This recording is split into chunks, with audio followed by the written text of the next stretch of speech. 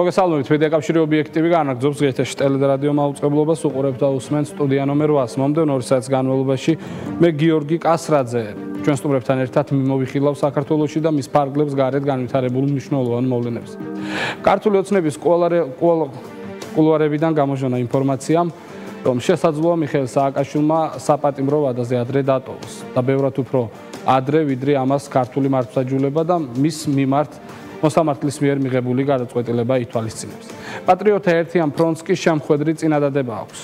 გაერთიანებაში ფიქრობენ, რომ სააკაშვილზე მეტი სიმძიმის დამნაშავე საქართველოს აპრობილეებში ცოტა თუ მოიძებნება და შესაბამისად, ყველა მძიმე ქრონიკული სენით დაავადებულმა პაციენტმა უნდა დატოვოს საპატიმრო დაწესებულება. ეს ინიციატივა აქვს საქართველოს პატრიოტა ერთიან ფრონტს და ამ მიმართულებით ისინი აქტიური ქმედითი ნაბიჯების გადადგმასაც გეგმავენ. თავად ქვეყანაში კი დეპოლარიზაციის მიღწევა ამ დრომდე შეუძლებელია გუშინ პარლამენტში გამართა შეხვედრა დეოლიგარქიზაციის მიღწევასთან დაკავშირებით პარლამენტარებმა განიხილეს ეგრეთ წოდებული უკრაინული მოდელი.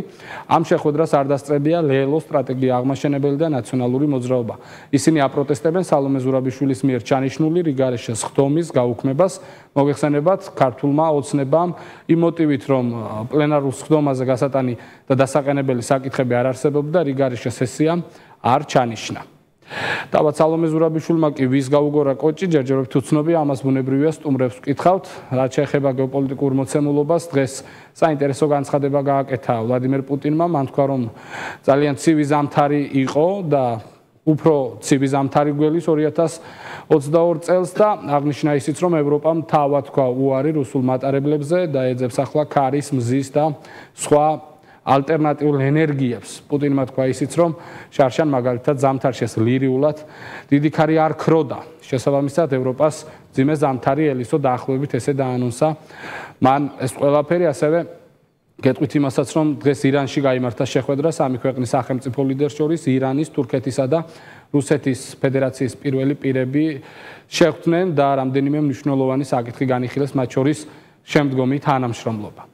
საქართველოს კი ევროკავშირის გზას ადგას ამ ორგანიზაციამ ასოცირებული ტრიოდან მაინც და მაინც ჩვენი ქვეყანა გამოყო არადა თუ ობიექტურ მონაცემებს დავეყრდნობით და ობიექტურად შევაფასებთ მაჩვენებლებს რომელიც მოლდოვას საქართველოსა და უკრაინას სხვადასხვა მიმართულებით აქვს რაც სხვა შორის პრიორიტეტულია ევროკავშირის კანდიდატის სტატუსისათვის გეტყვით რომ საქართველოს აბსოლუტურად ყველა პარამეტრით უსწრებდა მოლდოვას და უკრაინას თუმცა იყო მიღებული პოლიტიკური გადაწყვეტილება და ამ პოლიტიკური გადაწყვეტილების ვადათ თავდაპირველად მომდევნო 6 თვე განგვისაზღვრეს, თუმცა ევროპაში მიხვდნენ, რომ 6 თვე ქართულ პოლიტიკურ სპექტრს არ ეყოფოდა მოვლენების უпростоრად მოცემულობის შესაძლებლად და კიდევ ერთი წლით გაგვიხანგრძლივეს ჩვენი კანდიდატის სავარაუდო სტატუსი. თანამდებობა უпростоრად მოქმედების ვადა ამოეწურა თანამდებობაზე ყოფნის ვადა ამოეწურა ევროკავშირის სპეციალურ წარმომადგენელს კარ ჰარცელს. მან სხვა შორის დასამშვიდობებელ სიტყვაში ქართულ ტრადიციებს საქართველოს ეროვნულ თვითყოფადობას ჩვენს გმირებს სამშობლოსათვის თავგანწირულს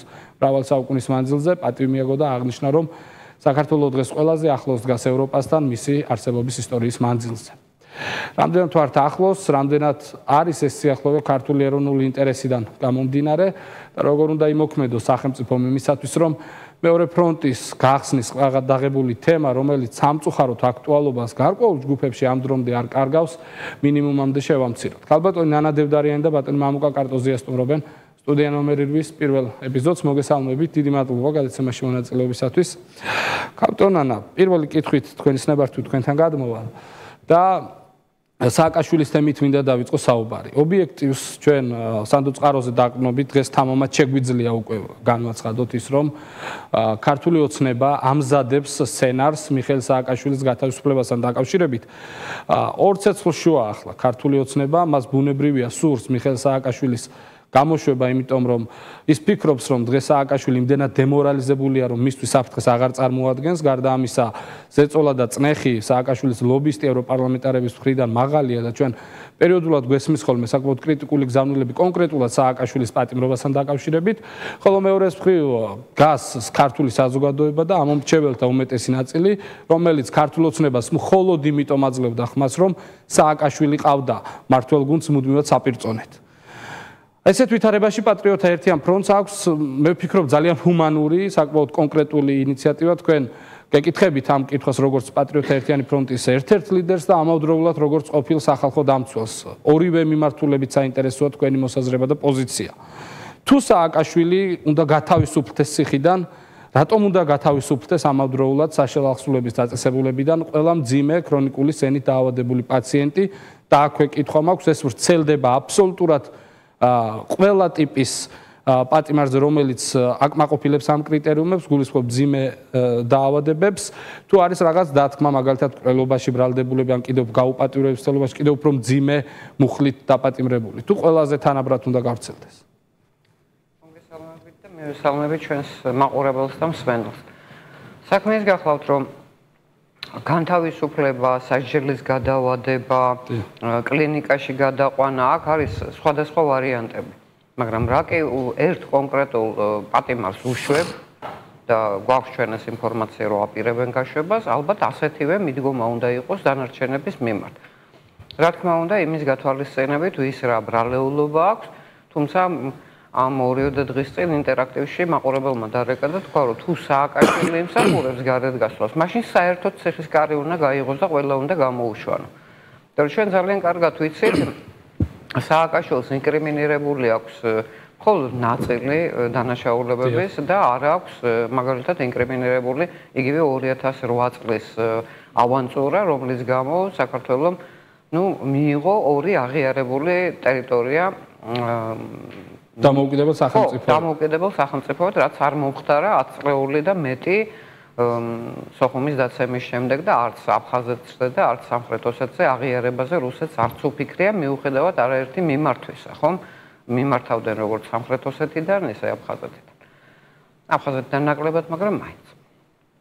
ამიტომ რა არის იცით ჯორჯ ორუელს აქვს ცხოველების ფერმაში გენიალური გამონათქვამი, რომელიც ზუსტად ესადაგება ამ შემთხვევას, რომ ყველა ცხოველი თანასწორია, მაგრამ ზოგიერთი უფრო თანასწორია. და აი უფრო თანასწორი პატემარი რო ყავს, რომელსაც სასათბურე პირობებს უქნე, მე არა ვარ შორის მაძიებელი ადამიანი და საერთოდ არ მაინტერესებს სააკაშვილი იჯდეს არც არახუმანური ბრძანდებით ქალტონანა პირიქით ძალიან ჰუმანური ხარ არ მაინტერესებს ნამდვილად რა მაგრამ მე უბრალოდ აი შეურაცხყოფილად გზნობ თავს, იმიტომ რომ ჩვენ ხო ვიცით, საერთოდ აცნობები ყავს, ნათესავები ყავს, მეგობრები, მეზობლები და უამრავი შემთხვევა ვიცით, როდესაც საკმაოდ სასტიკია მართსაჯულება პატიმრის მიმართ.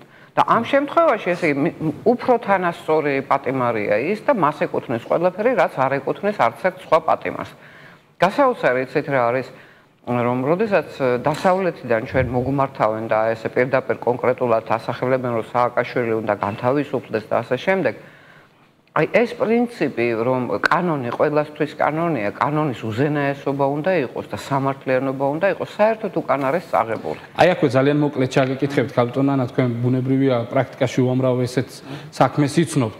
საინტერესოა როგორ ხდება თავად ევროპაში და იმ ჩვენ დასავლელ პარტნიორებთან, როდესაც ამა თუ იმ ქვეყნის მაღალ ჩინოსანს, მათ შორის პრეზიდენტს, პრემიერ-მინისტრს ჩვენ ამის არაერთი ფაქტი გვაქვს საზოგადოებას, კონკრეტული სისხლის სამართლის დანაშაულის გამო ასამართლებენ. არიან თუ არა თავად ევროპაში ეს ელიტური პატიმრები პრივილეგირებულ მდგომარეობაში, უფრო სწორად ელიტურ პოსტზე მყოფი პატიმრები პრივილეგირებულ მდგომარეობაში. მეცაც გეტყვი გიორგი, ესე იგი მთელი ეს ჩვენი ილუზიები ჯერ ხო საბჭოთა კავშირის დროს გვეგონა რომ ოღონდ ეს რკინის ფარდა გადაწეულიყო და გარეთ 64 იყო და ყველაფერი საუკეთესო ამერიკული გვეგონა და დასავლეთ ევროპული და ასე შემდეგ. ეს ყველაფერი სინამდვილეში ასე არ არის. რა თქმა უნდა, სახელმწიფოს პირველი პირების მიმართ კანონი ბევრად უფრო მობიერი აღმოჩნდება ხოლმე იქაც დასავლეთში. და განსხვავებით რიგითი ჩვეულებრივი პატემრისგან, რომელსაც არც დიდი ქონება აქვს, არც მდგომარეობა და ასე შემდეგ, ხო? მეცაც გეტყვით, ხა სააკაშვილმა პირდაპირ შეერთებული შტატებიდან გადმოიღო საპროცესო გარიგება. და აღმოჩნდა, რომ ერთ ჩვენ ერთ დღეს საქართველოსში დამკვიდრდა დიდრის სამართალი, როცა მდიდარ შეუულია სხვადასხვა მათ შორის მძიმე დანაშაულზე ფულით ასე თქვათ იყიდოს თავისუფლება და ერთი პურის მომპარავი და ერთი ქვაბის მომპარავი იჯდეს და მისჯილი ქონდა 15 17 20 წელი. რატო ახლა უგროვებდნენ ამ ეპიზოდებს რომ უკანონოდ შევიდა იქ სათავსოში და აზიანა კარებიან რაღაცა. ეს და ამატებს მე გვარს თქვენის ნებართვით შეგნებულად არ დავასახელებ. ერთ-ერთ მუნიციპალიტეტში იყო ქალბატონანა ესეთ შემთხვევა ნაციონალური მოძრაობის დროს, როდესაც ადამიანმა მეზობლისაგან ფიცრები მოიპარა და მოსამართლემ სათითაოდ დაუთვალა თითო ფიცაზე თითო შესვლა და დაახლოებით 36 წელი მოუწია ნუ ეს შეკრებითობის პრინციპიც. აი როგორ არის ეცე გიორგი უზნაური რა არის რომ ის დრაკონული კანონმდებლობა რომელიც სააკაშვილმა დაამკვიდრა 2003 წლის ბოლოდან 2012 წლამდე ხო? ეს დრაკონული კანონმდებლობა მაგალითად რატომ მოხდა ასე? იმიტომ რომ შეკრებითობის პრინციპი იყო. ეხლა შეკრებითობის პრინციპით რომ მიესაჯათ სააკაშვილისთვის რამდენი წელი გამოუვიდო და როგორ 15 უკვე ორჯერ 6 და პლუს 3 წელი კიდე მეტი კიდე მეტი გამოუვიდო და ნუ ორი საქმე განხილვაში დიახ ხო და აი ეს მდგომარეობა, ამიტომ რა არის ეცე როდესაც ჩვენ ვიცით მაგალითად რომ ამერიკის ერთ-ერთი პრეზიდენტი ერთ-ერთ დიქტატორზე ამბობდა რომ კი ზაღლიშვილია, მაგრამ ჩვენი ზაღლიშვილიაო და მათი ზაღლიშვილი ვინც არის, ისინი მათ მას პატრონობენ. იგივე შემთხვევასთან გვაქვს აქ საქმე. ახლა დაუბრუნდეთ ჩვენ ინიციატივას. როდესაც მე სახალხო დამცველი ვიყავი, მაშინ იყვნენ ყოფილი პრეზიდენტის ძველ გამსახურდიას მომხრეები, დაპატიმრებული, ბევრი მათგანი პოლიტპატიმრად იყო აღიარებული და ჩვენ მქონდა ორი გზა, ან უნდა გვემკიცებინა, რომ ამ კონკრეტულ შემთხვევაში ეს არ არის პოლიტპატიმარი, რაც სრულიად კონტრპროდუქტიული იყო, იმიტომ რომ ხშირ შემთხვევაში შეიძლება საქმეში არ ჩანდა, მაგრამ გამჭვირვალედ იკითხებოდა ეს мотиваცია, ხო? და ან მეორე გზა, რომ პოლიტპატიმრებისგან გათავისუფლებულიყავით. და რომ ეხლა რომ ამბობენ რომ აი ჩვენ კანონმდებლობით ამას ვერ ვიზავთ, საქმეს ვერ გადავხედავთ, თუ მოინდომა ყველაფერს გავაკეთებ. შეიქმნა უწყებათა შორის კომისია, იქ იყვნენ შინაგან საქმეთა სამინისტროს, პროკურატორის, უშიშროების, სახალხო დამცველის უშუალო მონაწილეობით, პრეზიდენტთან არსებული ადამიანის უფლებათა სამსახურის მონაწილეობით, ყველა საქმე დეტალურად აი ესე ამ შემადგენლობით გავიარეთ. და უბრალოდ მომზადდა აქტი, სახელმწიფო აქტი, რომელთაც ამ ადამიანების გამოშვება მოხერხდა. ამიტომ შენ თუ გინ კანონს ხო ადამიანი წერს ადამიანებისთვის, არა? სადღაც 10 მცნებასავით ხო არ არის ჩამოვარდნილი საიდანღაც, არა? ამიტომ შენ რო ხედავ კონკრეტულად ასეთი ვითარება, აკეთილი ინებე და კანონში შეიტანე ცვლილება რაღაც შეცვალე. ბევრი საკანონმდებლო აქტი, რომელიც სააკაშვილის დროს იყო მიღებული, დარჩენილია შესწორების გარეშე. მათ შორის იგივე შრომით კანონმდებლობაში ეს არ არის ეს ხლის სამართალი, მაგრამ ამას ძალიან დიდი მნიშვნელობა აქვს სენამდრეში. განსაკუთრებით დასკვნებული ადამიანებისთვის და მათი სიცოცხლის უფლებისთვის. დიახ, ხო და აი როგორი ვითარება, ესე ჩვენ თუ არ დავამკვიდროთ ეს პრინციპი, რომ კანონი ჩემთვის და შენთვის ერთი და იგივეა, რომ არ შეიძლება შენ გაიქცე კანონს და სამართალს, იმიტომ რომ ბევრი ფული გაგან მაღალი თანამდებობა და მე სამაგიეროდ 10 ჯერ უფრო მეტად დავისაჯო ვიდრე მსახურ. ამის გარეშე სახელმწიფო არ შენდება. ამ ეს ევროკავშირს კი არ ჭირდება და მის რეკომენდაციებს ჩვენ ხალხს ჭირდება, ჩვენ სახელმწიფოს ჭირდება. აი ეს არის მთავარი. მე აბსოლუტურად გეთანხმებით კაპიტან ანა და თითოეული ესეთი პრეცედენტი და შემდეგ დაუჯელობის სინდრომს ახალისებს და ყოველი მომდევნო ხელისუფლება გაცილებით უფრო მეტ დანაშაულს ჩაიდენს წინას რომ ეპატიება მაგის გამო. ბატონ მამუკა, ის კითხვა რაც მე ხალბუტონ ანასთან დავსვი, იმაზე მინდა თქვენ განასავე მოვისმინო პასუხი და აქვე დავამატებ ჩემ შეკითხვას თქვენის ნებართვით. მიხეილ სააკაშვილი ხალბუტონმა ნანამ ძალიან კარგად ახსნა. მიხეილ სააკაშვილს ის საქმეები, რომელიც ახლა მიმდინარია, ან ის საქმეები, რომელზეც უკვე მსჯავრი მიესაჯა, ზღვაში წვეთია იმ დანაშაულებთან შედარებით, რომელიც ყოფილმა მთავარსარდალმა ჩაიდინა ხალხის და ერის წინაშე. იგივე 2008 წლის მოვლენები გამოუძიებელია, მათ შორის ჩვენ შეგვიძლია შემდეგ შემდეგ ეთერებში მაყურებელს შევთავაზოთ ახალი შეცვლილია ხელისუფლება, როდესაც ტელეკომპანია იმედის ეთერში შოთამოლაშხი არის. თუმცა და იქ დევნილები ეკითხებიან, რომ რატომ მიგვატოვეთ, რატო არ გაგვაფრთხილეთ, რომ საომარი მოქმედებები იწყებოდა და ერთ-ერთი დევნილი ამბობდა, რომ არჩევანის გაკეთება მოუწია მანქანაში ჩაჯდომის დროს საკუთარ მამასა და შვილს შორის. მამა დარჩა, იქ დაიღუპა და დღემდე დარდობს ეს ხალბატონი და ამბობს, რომ მაპატიოსო, მამა ჩემი სულ მაურო, ჩემი შვილი ავირჩიო, ესეთ ცოდვით როგორ ვიცხოვრობ. ბევრი დანაშაული იყო ჩადებული მათ შორის უკვე უკრაინაში გაქცეული საკუთარი სამშობლოს მოქალაქეობაზე უარ ნათქვამი პრეზიდენტი მოქალაქეებს მოუწოდებს უпроსტორად მოქალაქეებს რა სამხედროებს შინაგან საქმე და სამინისტროს თანამშრომლებს დაუმორჩილებლობისაკენ ეს ბევრად უფრო მძიმე ბრალდებაა მაგალითად სააკაშვილისამს რატომ გეკითხებით იცით?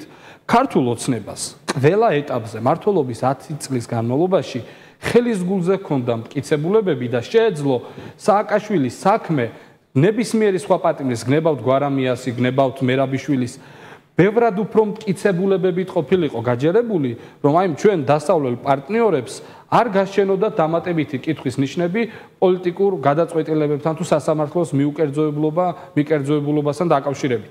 ამ კითხვას რატომსა მიცით, რომ თითქოს ქართული ოცნება თავად ქმნიდა პრეცედენტებს მელია იქნებოდეს ოქროაშულ თუ სააკაშვილი, რომ ეს დამატებითი კითხვის ნიშნები გაჩენილიყო ქართულ მართლმსაჯულებასთან დაკავშირებით.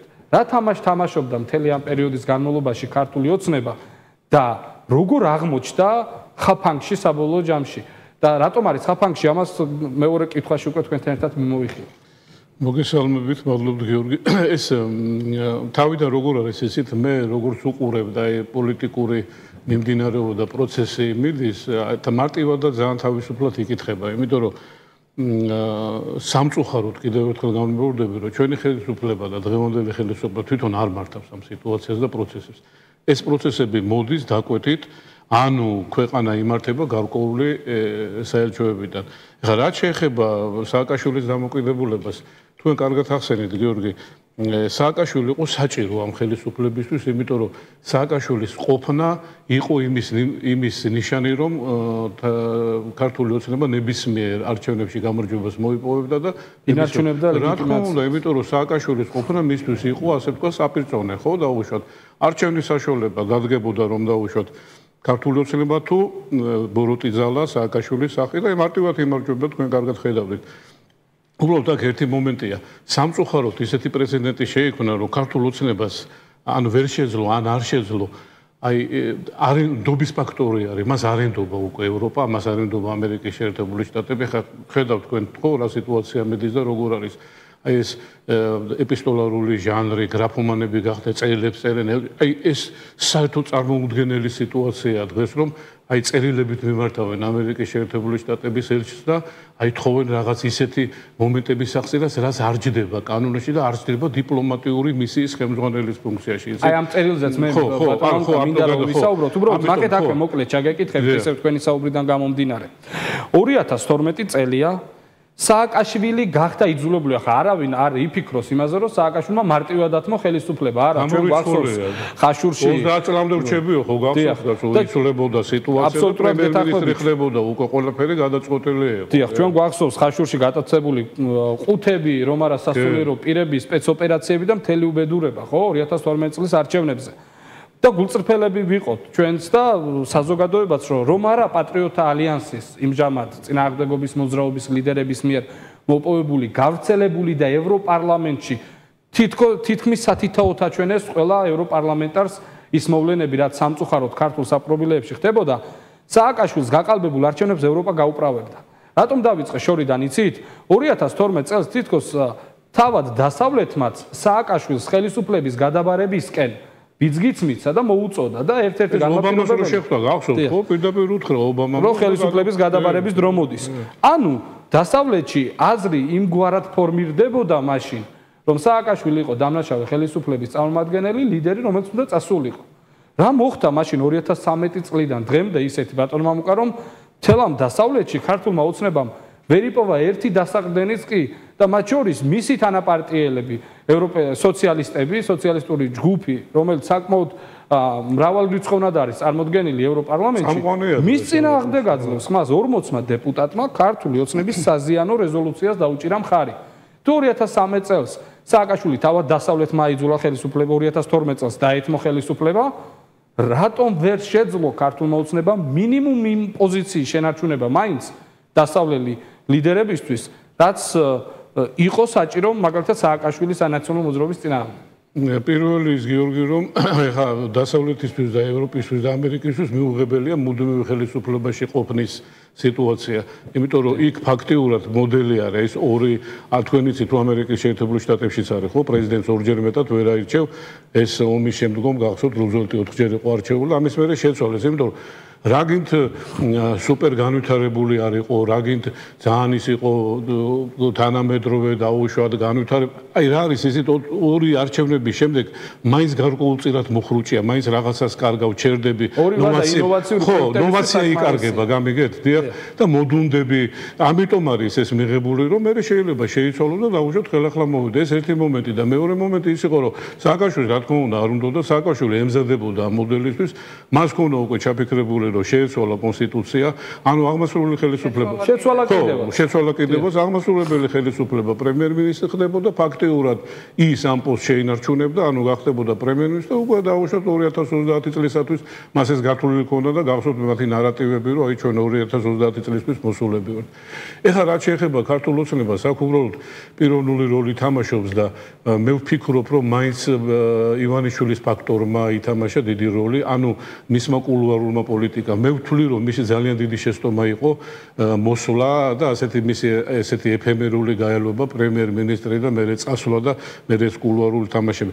რა თქმა უნდა, იმიტომ რომ ოცნებას და ანუ მის ლიდერს ენდო ხალხი და მისი ნდობითი, ანუ ხალხის ნდობით იყო აღჭურვილი ესა ივანიშვილი და მან ფაქტიურად ხელისუფლება გადა, ანუ მე ვიძახი ფიგურალურად, მაგრამ კონკრეტულად, როდესაც პრინციპში მან ეს რეჟიმის სისტემა შექმნა ავტოკრატიული სისტემა. აი ეს არის დასავლეთისთვის მიუღებელი. დასავლეთი მას არ ენდობა. და არსენდობა ფაქტიურად ჩემი აზრით ისე აი ისე იკითხება დღევანდელი სიტუაცია რომ ფაქტიურად განწერულია. არა, მაგაში გეთანხმებით. მაშინ რატომ დებს იგივე დასავლეთ და შემდეგ კაპიტონანასთან გადავა? იგივე დასავლეთი ფსონს ნაციონალურ მოძრაობაზე. რომის მართლობის პერიოდი იციან ამ დასავლეთ მე ვერ გეტყვით გიორგი, არა, ასე მარტივი არ არის. მე ვერ გეტყვით, არ დებს ის ძიების პროცესია. ის ძიების პროცესია ფაქტურად გადაწყვეტილია ჩანაცვლება, მაგრამ ის ძიების პროცესში ეძებს ძალებს. აი ეს იგივე აქციები ნახეთ ხო არა? აპოლიტიკური აქციები, თქვენ რა გონიათ ახლა მის უკან ვინ იდგა, ხო? ეს დაკვირვება მიდის, იმ ძალების შერჩევა მიდის, ვისაც შეუულია დაუშვათ ხელისუფლებას იმოხდა. ახლა ძალიან კარგად იციან, რომ მას არანაირი ბექგრაუნდი და არანაირი დაუშვათ რეიტინგი არ აქვს, იმიტომ რომ მას ფაქტურად ქართული ოცნება აწოცხლებდა და თავის აპირწონე ყავდა, ხო, ნაციონალური მოძრაობა. გამორიცხულია.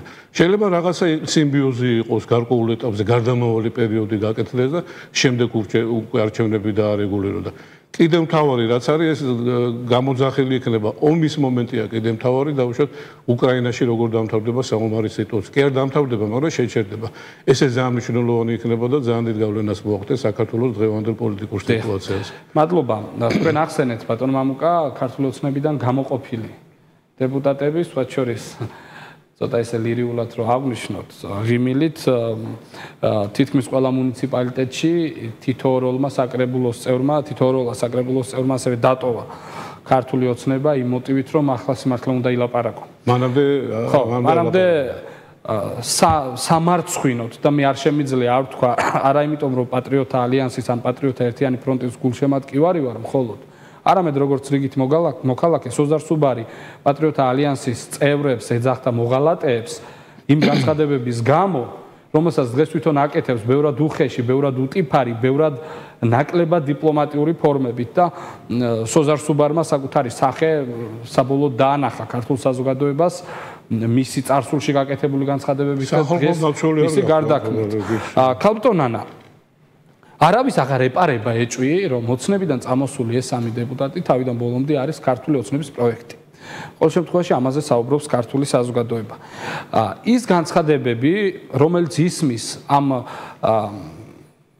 გამოყოფილი ჯგუფის მხრიდან, მათ შორის ამერიკის შეერთებული შტატების ელჩის მისამართით, რამდენად მისაღებია თავად ურთიერთობის ფორმებს გულისხმობ. რატომ გეკითხებით, იცით? პატრიოტთა ალიანსმა მისი არსებობის მანძილზე რამდენიმე საპროტესტო აქცია, ხალხმრავალი 10, 15, 20, 30000 ადამიანი შეკრიბა უშუალოდ ამერიკის საელჩოს შესასვლელთან. თუმცა იმდენად კონსტრუქციული იმდენად კანონის ყველა ჩარჩოში მოქცეული ადამიანური ურთიერთობის ჩარჩოში მოქცეული დიპლომატიური იყო. ყველა ეს ქმედება პრაქტიკულად არც დაგმობა გვახსოვს არც აღშფოთება თავალ საელჩოს ფრიდან ფორმა რა ფორმითაც ეურთიერთობებიან ქართული ოცნებიდან წამოსული დეპუტატები ამერიკის საელჩოს. რა მნიშვნელობა ნებისმიერი სახელმწიფო საელჩოს რამდენად მისაღებია? ეს ერთი კითხვა და მეორე კითხვა აქვე. სოზარ სუბარს მიხეილ ყაველაშვილს და დიმიტრი ხუნდაძეს წამოსვლის წინა ღამეს არ გაუგიათ ამერიკის შეერთებული შტატების მიზნები და ამ საელჩოს კულუარული მოლაპარაკება ხელისუფლებასთან. რატომ იყვნენ თუ ისინი ობიექტური და სამართლიანი ადამიანები არიან, რატომ იყვნენ ჩუმად მთელი რა ვიცი 9 წლისა და 11 თვის განმავლობაში? გიორგი, ჩვენ საეთერო დრო, ძირფას საეთერო დრო. არ დავხარჯო, მას არ დავხარჯოთ, ხო შეიძლება ხა აქ კითხვაც კი არ ჩნდება და ყველაფერი ნათელია ახლა 9 წელი მეძინა მე-10 წელს გამეღვიძა დავინახე შევშფოთი აღშფოთი წერილების წერა და არ ღირს მე მგონი მე მინდა ეფექტს თუ მისცემს ქართულ ოცნებას რის გამოც ეს მოხდა მაშინ თემა გავაგრძელოთ რაღაც ბადურ მამუკასთან საუბრობდი. აი როგორ მოხდა ხელისუფლების შეცვლის პირობებში და როგორ მივიღეთ ის რაც მივიღეთ? მოდით ახლა პირდაპირ ვთქვათ ევროპარლამენტში ციხის კადრების ჩვენებამ გადამწყვეტი როლი ითამაშა, მაგრამ კიდევ უფრო გადამწყვეტი როლი ითამაშა იმან, რომ რევოლუციური მასშტაბის ქუჩის სრულობები დაიწყო ამ კადრების გასაჩერებლად. რევოლუციური დონის მასა გამოვიდა გარეთ. ეხლა როცა მართული თან სპონტანურად ხალხონო არავის ორგანიზება არ გაუწევია, ხალხი აღშფოთდა და გამოვიდა. ეხლა უყურეთ როცა ეს არ არის მართული ფერადი რევოლუცია და ხალხი თვითონ გამოდის, ამის არ შეიძლება არ შეშინებოდა დასავლეთს, კოლექტიურ დასავლეთს გულისხმობ, ხო? ეხლა ის გაყალბებები, რაზეც იყო ლაპარაკი, ბიზნე ივანიშვილის ინტერვიუ ხო არსებობს ჩანაწერი და ნახვა შეიძლება ირმა ინაშვილთან იყო ეს ინტერვიუ, სადაც ის ამბობდა, რომ ჩვენ კი ვერ მოვიგებთ, მაგრამ მოვალთ როგორც ძლიერი ოპოზიცია, 40%-ს ავიღებთ. და უცხო ცეხის კადრებმა ამოაყირავა სიტუაცია და 40% მიიღო სააკაშვილმა და 60 მიიღო ოცნება. ახლა დაუკვირდით რა ხდება. ის 40% განა ქონდა სააკაშვილს. რა თქმა უნდა არ ქონე ხაშორში თუ რაღაცა აღკვეთეს, ბევრ სხვა ადგილას ვერ აღკვეთეს. უკვე გაყალბებით იყო ეს 40%, ისევე როგორც გაყალბებით გაამარჯვებინეს სააკაშვილს მეორე საპრეზიდენტო არჩევნებში პირველში სხვათა შორის. იმიტომ რომ цаრიელი იყო უბნები და რაღაცა არა სრულწოვანები დადიოდნენ და კარუსელები თმასაზრდებოდნენ. მეორეში საერთოდ. მეორე საერთოდ ფაქტობრივად გაჩეჩილადეს მოგებული კონკრეტ. აი ხა დაუკვირდეთ სიტუაციას. როგორც ჩანს და უკვე ჩანს, ახლა ჩვენ თუ მომავალს ვერ გავჭრეთ ყოველთვის წარსულის ანალიზზე ხო შეგვიძლია. სააკაშვილი გამოდის 2013 წელს და ხმამაღლა აცხადებს იმის შესახებ, ახლა უკვე მისი პარტია არის ოპოზიციაში, თვითონ დარჩა ერთი წელი, რომელიც მიითვისა ის ერთი წელი თორე არ მოიმატა კი. მოიმატა. და ამობს რომ საბოლოოდ ბოლოს და ბოლოს საქართველოსში დამკვიდრდა ორპარტიული სისტემა. დიახ, მე მახსოვს ეს განცხადება ხალხო. და იქვე ილაპარაკა კოჰაბიტაციაზე. ეს იყო როგორც შეთანხმებული დასავლეთ შეხედა რომ 40%-ით შენარჩუნება ნაციონალური მოძრაობის ეს არის საოცარი კაი შედეგი და ამაზე კარგ შედეგს აი და დაუშვათ და მომხდარიყო რევოლუცია და ხალხს გადაეჯიგა ეს ყველაფერი და დანიშნულიყო თავიდან არჩევნები. ნოლს მიიღო ნაციონალური მოძრაობა. ამიტომ შეაჩერეს ეს პროცესები დასავლეთიდან და უთხრეს. ეს ჩემი ვარაუდია, მაგრამ დასაბუთებული გონივრული ეჭვი მაქვს, რომ ასე იქნებოდა, რომ თქვენ ამათ ხელს ნუახლებთ, ხო მოიგეთ, ხელისუფლება ხო თქვენია. ახლა პრეზიდენტს ერთი წელი და ერთი წელი დარჩა კი არა, წელიწად ნახევარი ქონდა დარჩენილი შევარდნაძეს, მაგრამ არავის არ უფიქრია, რომ რატო გადააყენეთ. იმიტომ რომ მათი ასე ვთქვათ, პროექტი იყო ეს ვარდების რევოლუცია, ხო? ანუ ამათ ხელი არ ახლოთ, თქვენ რაღაცნაირად კოჰაბიტაცია სხვათა შორის უცხოური ტერმინი რო არის, ითარგმნება როგორც თანაცხოვრება, ხო? აი თანაცხოვრება ქართულად ჰუმანურად ჟღერს და რუსულად კიდე საჟიწილსტვა, საჟიწილსტვა რა? თანაცხოვრება. სექსუალური პარტნიორები არიან, პარტნიორები არიან, მაგრამ არა რეგისტრირებული კონცენებით, ხო? სხვა შორის პოლიტიკურად აემოცემულობაში იმყოფება. აი ამას გავს, ამას გავს ძალიან და ახლა რო გეტყვიან სიტყვა კოჰაბიტაციაზე ლექსიკონში არ შეიხედავ და ვერ მიხვდები რას გთავაზობენ, ეგ ერთი პრობლემა. მეორეა რომ ნელ-ნელა მოხდა ამათი შეზრდა, რომ დაინახეს რომ უერთმანეთად ცხოვრება არ შეუძლიათ. ხო მე თქვენ გეკითხებით უამრავი წართმეული და უკან არ დაბრუნებული ბიზნესი. ეხლა დავიჯერო რომ უანგაროდ შეარჩინეს წამრთმევებს. მე ვფიქრობ რომ არა თვითონ გადაიწერეს ავტონომია ერთად არიან თვითონ ჩაეწერენ და ასე გრძელდება ხო? ზოგადად დიდქონებაზე ელაპარაკი ზოგადად მოკრძალებულზე მაგრამ გუშინ რო კაცი საერთოდ არაფრის მქონე იყო და უცებ მილიონერი ხდება ხო უნდა მიხვდე რა პროცესთან აგაქვს საქმე ანუ ამათი აი ეს თანაცხოვრების კულტურულად თქვა თანაცხოვრების მთელი ეს პროცესი ის წინააღმდეგაც მუდმივად გამოდიოდა პატრიოტთა ალიანსი. რატო ჩააგდო ის რეზოლუცია პარლამენტმა ქართულმა ოცნებამ, რომლითაც სხვადასხვა ბევრად უფრო ჰუმანური პოლიტიკური აქტი იქნებოდა, გამოცხადებულიყო ის რეჟიმი დამნაშავე რეჟიმად. და ეს პარტია დამნაშავე პარტიად. ეს ხო ბევრად უფრო ნაკლებ ტკივნეული იქნებოდა, ვიდრე ვიღაცის დაპატიმრება, მე კლინიკიდან კლინიკაში გადაყვანა, ახლა იმის ხდელობა გარეთ როგორ უნდა გამოუშვა და ასე შემდეგ. ამიტომ ჩვენ ეს სიტუაცია მივიღეთ, იმიტომ რომ ქართული ოცნება შევიდა ამ თამაში და როცა შენ სხვის თამაშზე მისი თამაშის წესებით შედიხარ, არასოდეს გამარჯვებული არ იქნები. ეხლა ამდენი ხნის განმავლობაში მომყავთ ხო რომ ეძებენო ძალებსო, რაც დაძებნა უნდათ. აი ახლა მოგიყვებით უჩემთაც კარგად და შეგახსენებთ. ავიღოთ ერთი ორგანიზაცია, ახალგაზრდა იურისტთა ასოციაცია, რომელიც მიმართაც მე ცოდის არაფრის თქმა არც მინდა და არც შემიძლია უამრავ ადამიანს დახმარებიან მართალია. როგორც სამართლებრივი კუთხე. კი, თუმცა მართალია მათ აქვთ იმის პრივილეგია, რომ აირჩიონ რომელი საქმე უნდათ და რომელი არ უნდათ. ეს არ არის სახელმწიფო სტრუქტურა, ეს არის არასამთავრობო ორგანო. ნუ სულად უფასოდ მე მგონი, ხო უფასოდ არის. მაგრამ ის ძალიან სერიოზული გრანტებით ფინანსდება შეერთებული შტატების. ახლა დაუკვირდით, აი ეს არჩევ არჩევითობის და გადარჩევის პრინციპი ძალიან თვალნათლივ ჩანს ახალგაზრდა იურისტთა ასოციაციის მაგალითზე. არასამთავრობო ორგანიზაცია შეუძლია თავისუფლად, რომ ერთი და ორი ვადით კი არა, წლების განმავლობაში ყავდეს ერთი ლიდერი, მაგრამ ყოველთვის გარკვეული ვადით ირჩევა და იცვლება, მაგრამ სამაგიეროდ ყველა ყოფილი თავმჯდომარე ამერიკის შეერთებული შტატების საელჩოს და სხვა მისი სახელმწიფო სტრუქტურების დახმარებით ყოველთვის ხვდება გარკვეულ საკვანძო სახელმწიფო თანამდებობებზე, ხო? თქვენ ახლა ნინო ლონჯერია გახსოვთ და არ გახსოვთ? ანა ნაცვლიშვილი კახა კოჟორიძე ბევრი გახსოვთ სხვადასხვა პარტიების სხვადასხვა სხვადასხვა სახელმწიფო არც ერთი შტო არ რჩება ახალგაზრდა წევრების გარეშე. ასი ასოციაციის აღზრდილების მონაწილეობის გარეშე და ხა იმასაც თუ გავიხსენებთ როგორი იღებდა ფოტოებს წინა ელში შეერთებული შტატების მათი არასამთავრობო ორგანიზაციის ორგანიზაციების ლიდერებთან ერთად და პირდაპირ აცხადებდა რომ ეს ჩვენი პარტნიორები და მეგობრები არიან ხო? ხო უნდა მიხვდეთ რომ კადრების სამჭედლოც კი ამერიკული გაქვთ. ეხლა რას ელოდებით სხვას? ეხლა რაც შეეხება იმას, რომ როზორტი 4 ჯერ იყო არჩეული და მე მხოლოდ ორ-ორი ვადა იყო გათვალისწინებული სამაგიეროდ ანგელა მერკელი გაცილებით მეთხანს მართავდა კანცლერის სახით გერმანიას, ვიდრე ბრეჟნევის საბჭოთა კავშირის დროს, რომელიც დასაცინი იყო რატომღაც. იმ შემთხვევაში არ იყო. აიღეთ ბერლუსკონი და სხვები და სხვები. ანუ როგორ არის ესე თუ პრეზიდენტობა არ შეიძლება ორ ვადაზე მეტად, რატო შეიძლება კანცლერობა ან პრემიერ-მინისტრობა? ან პრემიერ-მინისტრობა ორ ვადაზე მეტად. ანუ ეს პრინციპი როცა ჭირდებათ, მაშინ არის მისასალმებელი. ეს არის ჩვეულებრივი ორმაგი სტანდარტები და ეხლა ჩვენ ამ სიტუაციაში ომის გარდა შევხედოთ კიდევ ერთხელ, ჩვენ ახსენე თურქეთი, ირანი, რუსეთის მოლაპარაკებები. პარალელურად მიდის მოლაპარაკებები ჩინეთთან.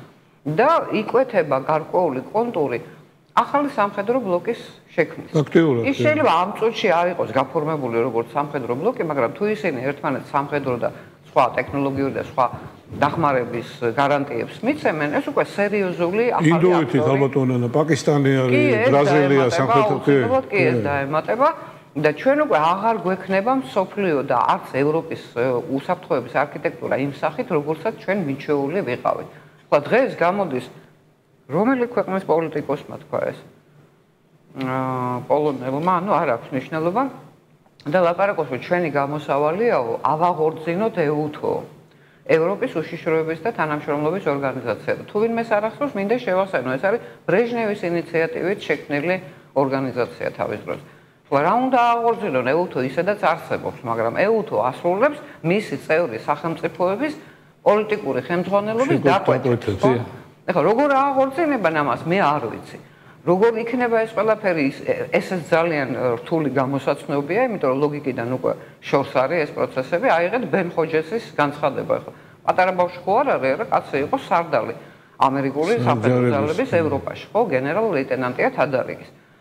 და პირდაპირ ამბობს, რამდენიც არ უნდა იძახოს კერლედეგნანმა, რომ ჩვენ არ გვინდო და საქართველოსი მეორე ფრონტი და ომში ჩართო, დღესაც იგივეს ამბობს ბენხოჯესი, რომ რუსეთი დღე-დღეზე დაშლას დაიწყებს და თქვენო გზად ახართო მაგისთვის. ეხლა დღეს შეიძლება არ შეხვიდოთ აფხაზეთში და სამხრეთ ოსეთში, მაგრამ იდეაში რატო არის? ეხლა მე გავაუბრალოებ, მაგრამ შინაარსი ასეთი იყო. პირდაპირ შეერთებული შტატების შეერაღებული ძალების სარდალმა ევროპაში, ყოფილმა სარდალმა პირდაპირ მოუწოდა, რომ აი რუსეთი იწყებს ახლა დაშლა და მედი თქვენ შეუტიეთო რა. ანუ გასაგებია ხო ყველაფერი ერთია, რასაც დიპლომატიური ეტიკეტიდან გამომდინარე და პროტოკოლიდან გამომდინარე ლაპარაკობენ, მეორეა რა პროცესებს უწყობენ ხელს. ეს ყოველთვის უნდა დავინახოთ და მაშინ ნათელი გახდება ეს პროცესები, რატომ მინდის ზუსტად ასე. ბატონ მამუკა, თქვენ ახსენეთ ინდოეთის, ქალწონმა ნანამისაუბრა ირანის, რუსეთის, ჩინეთის, თურქეთის სავარაუდო კავშირთან დაკავშირებით. სხვათა შორის აა ინტერნეტში YouTube არხზე ბევრი სამხედრო მიმომხილველის პოზიციებს ვეცნობი ხოლმე და აბსოლუტურად ჭეშმარიტია თეზა იმის შესახებ, რომ ბრაზილია, ინდოეთი, ჩინეთი, რუსეთი, პაკისტანი უახლოეს პერიოდში შეიძლება ერთიან კოალიციაში იყვნენ წარმოდგენილები და მაკეთკენ მიდის. დიახ, აი ამ დაანგარიშების ფონზე აღმოჩნდა რომ მთელი მსოფლიოს მოსახლეობის ნახევარი ამ გაერთიანებაში აკუმულირდება, ნუ ინდოეთისა და ჩინეთის ხარჯზე ბუნებრივია, თუმცა ბრაზილიაში 80 მილიონზე მეტი ადამიანი. პაკისტანშიც მეტია, ბრაზილია მესამე, კი. რუსეთში 150 მილიონი ადამიანი ცხოვრობს, საკმაოდ მოცულობითია. იქვე იყო შედარებული სამხედრო ძალა, მათ შორის ეს ნუკლეარ ბირთული შეერაღების და პოტენციალი. საკმაოდ უფრო ძლავრად არის წარმოქმნილი ეს პოტენციური ორგანიზაცია ვიდრე ნატო. თავად ნატოც შეიქმნა საბჭოთა კავშირის დროს ჩვენ ამ ეთერში არაერთხელ გვისაუბრია, საბჭოთა კავშირის არსებობის პერიოდში მის საპირწონედ მისგან დასავლური სამყაროს დასაცავად ეს იყო მთელი ამ ორგანიზაციის შექმნის მიზანი და იდეა. ამერიკელების. დიახ, ამერიკელების იდეა, რომელსაც ჭირდებოდა ერთგვარი ბუფერული ბუფერული ზონა ევროპაში საკუთარ თავის დასაცავად. ბატონ მამუკა, დღეს არსებული რეალობიდან გამომდინარე, რეალობაშიც იმყოფება მსოფლიო, არამხოლოდ უკრაინა ვეღარ იქნება ისეთი, როგორიც ის იყო 2022 წლის 24 თებერვლამდე, არამედ სოფლიო ვეღარ იქნება ესეთი და ეს ჩანს უკვე. აი ამ მოცემულობის გათვალისწინებით და მაშინ როცა ეს ორგანიზაცია პოტენციურად შესაძლოა ძალიან მალე უკვე შეიქმნას და ეს ერთობა წარსდგეს. რა გზა უნდა გაიაროს ევროპამ? ან რა ნაბიჯები უნდა გადადგას იმისათვის რომ მოერგოს იმ თანამედროვე რეალობას რა რეალობაშიც აღმოჩნდებით ყველა აბსოლუტურად და მათ შორის ჩემთვის ყველაზე მნიშვნელოვანია სად უნდა იყოს საქართველოს და რამდენად პრაგმატული პოლიტიკის გატარებას შეძლებს მოქმედი ხელისუფლება ან ზოგადად დღევანდელი ქართული პოლიტიკური სპექტრი? მაგას ვიძახოდით რომ აი მისი ხედვა დაუშვათ ორიენტაცია. ხო გასაგებია ერთი მხრივ ნატო ევროკავშირი მაგრამ მეორე მხრივ ახლა თქვენ იცით საქმის გულში ხარ თუ პრემიერ-მინისტრი შუა აზიაშია იყო უზბეკეთში. ეხლა თურქმენეთში გადავიდა დიახ და ეხლა რა შეეხება ამ გაერთიანებას საკმაოდ მძლავრი გაერთიანება. თქვენ დააკვირდით გუშინდელ შეხვედრას მაგრამ ერთს მინდა მივაქციო ყურადღება ორივე მხარე თვითონ ხამენეიმას და პუტინმას აღნიშნეს ძალიან პროდუქტიული და რაციონალური როლი თურქეთის გამოყვეს თურქეთი როგორც მედიატორი, როგორც შუამავალი და ერთ-ერთი ინიციატორი ამ შეხვედრის. იქ ძალიან საინტერესო ურთიერთობებია. მაგალითად, ახლა გადაწყდა რომ ირანი მიარჩვისოდი ირანს აქ იმდენი უპილოტო საფრენები, დრონი უნდა მიაწოდოს რუსეთს გადაწყდა უკვე ხელშეკრულება გაფორმდება და სხვადასხვა, ანუ სამხედრო პოტენციალით ირანი, რომელიც ამერიკის შეერთებული შტატების სოფლოს მიერ დაბლოკილია და მას არანაირი დაუშვათ ექსპორტი იმპორტი არ გააჩინა და ჩაკეტილი ქვეყანა იმ ხელა წარმოება აქ დაუშვათ სამხედროსი რომ აი რუსეთთან უკვე რუსეთს აწოდის ამიარახს დიახ. ბოდიში ბატონო რომ გაწყვეტნებთ მე აბსოლუტურად გეთანხმებით ირანი ცდილობს ახლა რეგიონული მოთამაშიდან საერთაშორისო მოთამაშეზე გადავიდეს და ჩვენ გვახსოვს მაგალითად ჩარშან კი, მართალია მათ გააფრთხილეს ამერიკის შეერთებული შტატები რომ ჯარისკაცები გაეყვანათ, მაგრამ ირანმა ამერიკის შეერთებული შტატების ბაზები დაბომბა და გაანადგურა ერაყის ტერიტორიაზე. მას საკმაოდ ესეთი ძლავრი სახელმწიფოს იმიჯის ფორმირება სურს მის გარშემო და იგივე ამ ბირთვული არაღზე მუშაობის გამო და სანქციები და ირანი თუმცა მან შექმნა ხო ეს ბირთვული არაღი საბოლოო ჯამში. საპირწონეა ხო ირანი იმიტომ რომ შეიტური ქვეყანა არის და არა მარტო დაუშვათ რეგიონალური ლიდერი, არამედ აქ არის ლაპარაკი უკვე სარწმუნოებრივ ლიდერობაზე. ირანს აქვს პრეტენზია, რომ ეს შეიტური სამყაროა წარმართველი და მისი ლიდერი უნდა იყოს. 70 მილიონიანი ქვეყანაა და საოცარი სიმდიდრის ქვეყანა ფაქტურად მენდელევის სისტემა რაც არის ირანში დევს. ანუ იმ ხელა პოტენციის ქვეყანა არის უბრალოდ ტექნოლოგიების ხრივ ჭირდა და ნანოტექნოლოგიები არ აქვს, იმიტომ ვერ შედის და აქტუალური აქვს და აი იგივე დაუშვათ ბირთვული არახთან დაკავშირებით რუსეთის თანამშრომლობა ეს ალსახაა ხო გადაწყვეტილი შეწყვეტილია რომ რუსეთი ეხმარება და აკეთებინებს იმ იარაღს და რაც ყველაზე მთავარია ჩინეთის როლიც არის გიორგი ეგ დამოკიდებულება და უშოთ ჩინეთის ჩართულობა და ინდოეთის. აი ეს ქვეყნები თუ დაუშვათ შექმნა და ეს ფაქტურად იქეთკენ მიდის უკვე კონტურებია აბსოლუტურად სხვა წესრიგი და სხვა განზომილება და სხვა რეალობა იქნება სოფლიოში უკვე. იმიტომ რომ ეს იმდენად შენ თქვი დაუშვათ დაახლოებით 3 მილიარდამდე მიდის ხო? თუ მეტი არა დაუშვათ ამათი შემადგენლობა და დაუშვათ კონტინენტური ხო? იქ ბრაზილია ჩაერთობა იქ სამხრეთ აფრიკის რესპუბლიკაზე ალაპარაკი კიდე ხო? ეს საოცრად დიდი ძალა იქნება და დიახ ბევრი ამერიკის კონტინენტის ქვეყანა შეერთებული. სახელმწიფოები არა მარტო სამხრეთ აფრიკის კუბა და არა კუბა ვენესუელა და ასე შემდეგ. მათი არჩევანი გამჭვირვალედ ჩანს. კი არა ვენესუელა ფაქტურად ან ვენესუელას უდიდესი საბადოა ხო? დიახ ვენესუელას როდეს როდესაც ვახსენებთ აი ამ სოფლიო მოთამაშეებს, ისევ ირანიდან გამომდინარე, სხვა შორის მადუროს რეჟიმის გადარჩენაში ლომის წვლილი ირანს სწორედ და სწორედ ირანი ფარველობდა მადუროს რეჟიმს. ამერიკის მეზობლად სხვა შორის აბსოლუტურად სხვა კონტინენტზე 10000ობით კილომეტრი 1000ობით კილომეტრით შორს. ბატონო მოკა თქვენ ცნებართვით ქალბატონანასანაც გადავალ და მე კიდევ ერთი კითხვა მინდა მოვასწრო. ქალბატონანა, აი ბატონმა მოკამ რაზეც ისაუბრა იმ სახელმწიფოებზე მათი ძირითადი ნაწილი საქართველოს ისტორიული მტერია და ყოველთვის ჰქონდათ ინტერესი კავკასიის რეგიონზე და კონკრეტულად ბუნებრივია საქართველოსთან მიმართებაში. ესეთი მაგალითად რუსეთია, რომელთანაც ორი საუკუნე გავატარეთ, ესეთი მაგალითად თურქეთია, რომელსაც ასევე საუკუნეების მანძილზე ბატონ დავით არხამონოვს თუ დავესესხებით 19 წელიწადში ერთხელ მაინც ჰქონდა გავეშებული ბრძოლა საქართველოს წინააღმდეგ და ირანი ძველი სპარსეთი რომელიც ასევე მუდმივად იყო კონცენტრირებული კავკასიის რეგიონზე და იპყრობდა შაჰაბასიდან დაწყებული პერიოდულობით ხო ჩვენს ქვეყანას.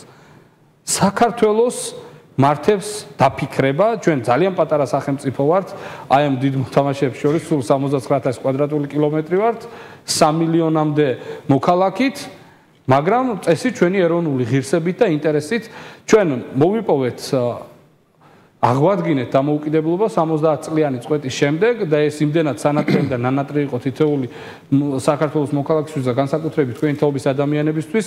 საკუთარი სიცოცხლის ფასად იყავით. მზად მაშინ რომ ეს თავისუფლება მოგეპოვებინათ. ჩვენთვის განსაკუთრებით ჩემი თაობისთვის და თქვენი მომავალი თაობისთვის ხომ? დღეს სამწუხაროდ არსებობს იმის რისკი რომ აი ეს თავისუფლებაც კი დაიკარგოს გლობალური ინტერესების თუ კერძო ჩვენი სახელმწიფო მეზობლების ინტერესებიდან გამომდინარე. რაშია მთელი პრაგმატიზმი ქალბატონანა და რაშია ოქროს შუალედის პოვნის გასაღები.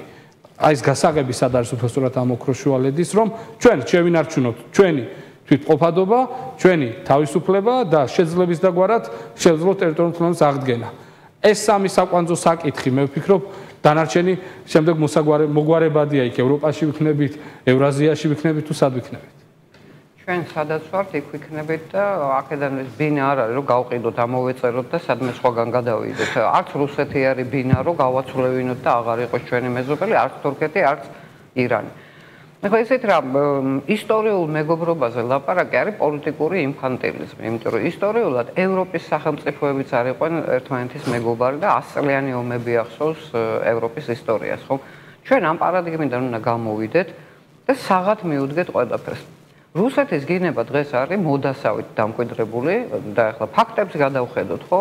დაშლილი საქართველოს 9 მილიონზე ოდნავ მეტი მოსახლეობით 99 წლის შემდეგ გამოვიდა საბჭოთა კავშირის შემადგენლობიდან გამთლიანებული იმაზე მეტი ტერიტორიით ვიდრე ნაწილ-ნაწილ შეიერთა რუსეთმა და 5 მილიონი ნახევარი მოსახლეობით. 2 მილიონი დავკარგეთ ამ პერიოდში. ფაქტი აი ეს არის. ახლა მეორე სვათაშორის იმ 2 მილიონში კარგად გასაანალიზებელია როგორ და რანაირად მოხდა ეს ყველაფერი. ეს ცალკე დიდი გადაცემის თემა შეიძლება იყოს. და ხვედ რა ხვედრითი წელია თავად ეთნიკური ქართველების იმ 2 მილიონში, ხო? ნუ აი ძირითადად ქართველები არ გვინდა ახლა ამაზე ლაპარაკი, იმიტომ რომ საქართველოს უნიკალური ქვეყანაა, რომელსაც ყავს ქართველი პოლონელები, ქართველი ებრაელები, ქართველი რუსები, ქართველი სომხები.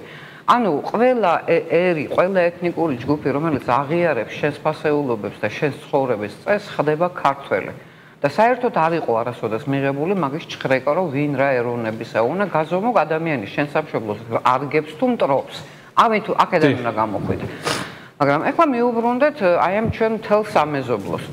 ჩვენ რომ არ გქონოდა ისტორიული გამოცდილება ამ გაცილებით უფრო სასტიკი იყო მაშინ ისტორიულად სამყარო და ეს სახელმწიფოები რაც ჩამოვთვალეთ, ხო, რო არ გქონოდა ჩვენ ისტორიული გამოცდილება, დღემდე არ მოვიდოდა საქართველოს. ძალიან ძლიერი მეზობლები იყო, ნახევარ დასავლეთ საქართველოს ოსმალეთს ჰქონდა წაღებული, აღმოსავლეთ საქართველოს სპარსებს, აი ეს ვითარება იყო და დღეს გამოვა ვიღაცა ბრძენთა ბრძენი და ერეკლე მეფეს დაუწუდებს არჩევანს. ერთადერთი დასავლური ორიენტაციის სახელმწიფო იყო მაშინ რუსეთის იმპერია. და თუ ვინმე გონია რომ ერეკლე მეფეს ინფორმაცია არ ქონდა ეს სიცრუეა.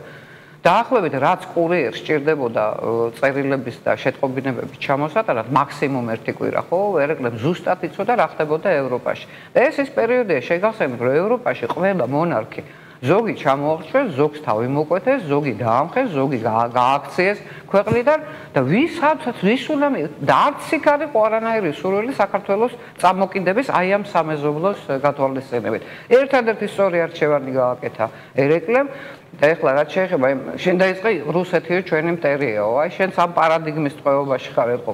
რუსეთი იყო ისეთი მტერი, რომ ქართველებმა დამოუკიდებლობის და თავისუფლების სურვილი და სწრაფვა იმ სახელმწიფოში შეინარჩუნეს და საბჭოთა კავშირშიც კი 99 წლის მოვლენების შემდეგ მოიპოვეს დამოუკიდებლობა. ეხლა მე თქვენ გეკითხებით, თურქეთის შემადგენლობაში რო ყოფილიყო ნახევარი საქართველოს და სპარსეთის მეორე ნახევარი. რა დარჩებოდა ქართველობისგან? ჩვენ ვიცით, რომ არიან ფერეიდნელი ქართველები, შეინარჩუნეს არიან ლაზებიც არიან. ლაზები შეინარჩუნეს მათ თავიანთი ქართველობა, მაგრამ უფლებრივი თვალსაზრისით თუ შევხედათ, მან არანაირი, აი ავტონომიაც კი არ აქვს კულტურული, ხვდები ხო რა? ამიტომ ვიყოთ ობიექტურები. ეს იმას არ ნიშნავს, რომ რუსეთიც ლიბერალურ ეკონომიკაზეა გადასული და რუსეთსაც აღარ უნდა ისე ცხოვრება, როგორც საბჭოთა კავშირის დროს იყო, რომ შეინახოს სხვა ქვეყნები.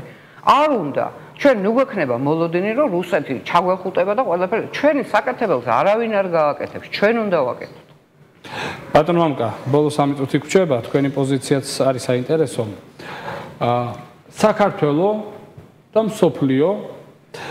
აა დღეს მსოფლიოში არსებული რეალობა და გამოსავლის გზები. როგორ უნდა გადავრჩეთ? საერთოდ აი ძალიან საინტერესო ისტორიული პარადიგმა მახსენდება მე როდესაც დამოუკიდებლობა მივიღეთ სულ რამდენიმე დღის შემდეგ დესანტი ჩვენი ანუ ჩვენი წარმომადგენლები ჩავიდნენ გერმანიაში და სხვაჩორის ეს ერთადერთი ქვეყანა იყო გერმანია რომელიც საქართველოს სერიოზულად ხარს უჭერდა და ფაქტურად უკვე განიხილებოდა საქართველოს როგორც დომინიონი გერმანიის. და ძალიან დიდი დელეგაცია ჩავიდა იქ. ნიკო ნიკოლაძე იყო ჩავიდა ავალიშვილი სპირიდონ კედია მოკლედ თელი და დადიოდნენ ურთიერთობები ქონდათ მაგრამ სამწუხაროდ ვერ მოერგო. რომ არა მსოფლიო ომი დაუშვა გერმანიის დამარცხება. ალბათ საქართველოს უფრო ევროპული და უფრო გერმანიის ხარეზე გადავიდოდა და მე რატო ვთქვი ეს იმიტომ რომ რა არის ისეთ ნებისმიერი არაერთხელ გვითქვი ამ სტუდიაში რომ ნებისმიერი დამოკიდებულება იგივე კავკასიასთან ახმა ჩვენ ყოველთვის აღვქმოვდით როგორც რუსეთის გავლენის სფერო. მე მაშინ ვთქვით რომ აი დამოუკიდებლობა არავინ აღიარა სანამ ჩვენ 20 წელს 7-მა ეს ეს უროტაზე კარახანის ხელშეკრულებით თვითონ რუსებმა აღიარება მოგცა მე მორჩევ მოხდა უკვე ძალიანად აღიარება და ნებისმიერია ეს დამოუკიდებლობა იმიტომ რომ არ არის რა ინტერესი კავკასიის დაუშვათ კავკასიის და საქართველოს მიმართ ევროპას არ ქონდა ინტერესი. ჩვენ აღვიქმობოდით როგორც რუსეთის ნაწილი. აი ის მეფე რო გადავარდა და ინგლისის სამხედრო ძალიან ნიშანდობლივია სამხედრო დელეგაცია ჩამოვიდა საქართველოში და დაუწყეს ვაჭრობა ჩვენებს. აბა თქვენ რა შეგიძლიათ გააკეთოთ და დამოუკიდებლობისთვის? აი ჩვენები ჩვენები ეუბნებოდნენ აი თქვენ რა შეგიძლიათ გააკეთოთ? ჯარს დაგვახმართ არა ფულს მოგცემთ? არა აბა რა აი დაგაკვირდებით და სამხედრო სპეციალისტებს გამოგიგზავნოთ და მე მგონი ნო იყო რამიშვილი მაგრამ თუ რა თქმა უნდა მე იქე დაგახმარ შენ სამხედრო აი მაშინაც ეს დამოუკიდებლობა იყო ისეთ რომ არანაირად აი ჩამოვიდნენ იმიტომ რომ შენ განეხილებოდი როგორც დაუშვათ საშუალება იმისი რომ გამოიყენებინე რუსეთის საწინააღმდეგო თორე. დამოუკიდებელი მოთამაშე საქართველოს არასდროს არ ყოფილა ამ რეგიონში და ვერც იქნება და არ ვიცი ახლა ეხლა რა შეიძლება დღევანდელ სიტუაციას მე გითხარით გიორგი რომ ყველაფერი დამოკიდებულია ამ ანტურაჟზე და ამ ახალ პოლიტიკურ რეალიებზე როგორი იქნება დამოკიდებული ცოტა ხანი სხვა შორის რომ მოვითმინოთ ჯობია და დავაკვირდეთ რომლებიც განვითარებას აი დასტის რეჟიმი უფრო ჯობია კი. დიდი მადლობა გადაცემაში მონაწილეობისათვის მე აბსოლუტურად გეთახმებით ბატონო მამკა უბრალოდ იმეც ვიტოვებ რომ ამ ერთი საუკუნის შემდეგ დასავლეთიც და მსოფლიოც იმგვარად შეიცვალა რომ ქვეყნებს სახელმწიფოებს რომლებსაც პარტნიორებს უწოდებენ აგვიქვავენ თუ არა რეალობაში მეორე საკითხია მოწოდებით ხომ გვიწოდებენ, საბოლოო ჯამში არ მიატოვებენ, იმიტომ რომ საქართველოს დემოკრატიული ეს პირველი დემოკრატიული რესპუბლიკის რუკას და თანამედროვე საქართველოს მათ შორის აფხაზეთსა და სამაჩაბლოს ჩათვლით რუკას თუ გადავხედავთ, ჩვენ ნახავთ რომ ჩვენ მაიამ დასავლელმა პარტნიორებმა მაშინ ინგლისმა და გერმანიამ სხვა შორის ძალიან ბევრი მოინდომეს რომ ჩვენ ტერიტორიები ჩვენი მეზობელი სხვა სახელმწიფოების თვის დაგვეთმო. მე ციგრმებში აღარ შევალ ისტორია ჩემზე უკეთიც ჩვენმა ტელემაყურებელმა და რადიო მსმენელმა. ქალბატონი ნანა დებდარიანი და ბატონი მამუკა კარტოზე იყვნენ თოქ-შოუ სტუდია ნომერი 8 პირველი ნაწილის სტუმრები. ჩვენ ზუსტად 10 წუთში დავბრუნდებით ღირეთში და საინტერესო თემებზე საუბარს განვაგრძობთ.